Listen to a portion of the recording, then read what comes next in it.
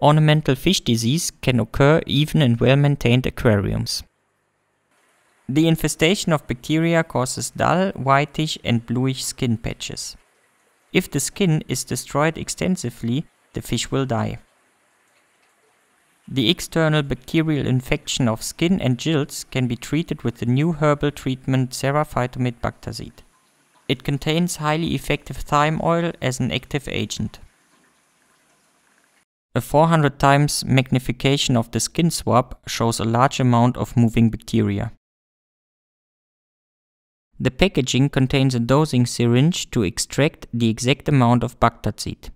The treatment is biodegradable and no water change is needed after the treatment.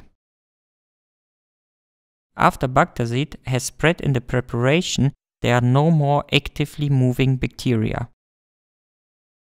Five days after the beginning of the treatment, the fish do not show any more symptoms.